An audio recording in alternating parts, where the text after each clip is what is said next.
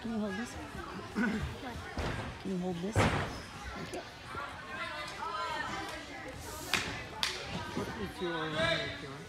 She needs a 8 8 to get a 35 5. So you can send the US Champions to. Huh? You're, you're doing, we're doing vaulting floor for 45 minutes each. Mm Mhm.